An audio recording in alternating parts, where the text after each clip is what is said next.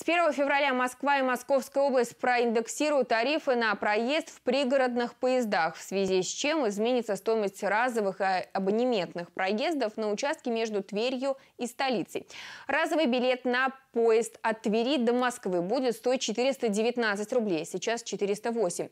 Поездка между Тверью и Москвой на «Ласточке» подорожает на 13 рублей и будет стоить 555. Поездка в Москву из Конакова с 1 февраля будет стоить 343 рубля на обычной электричке и 490 на «Ласточке».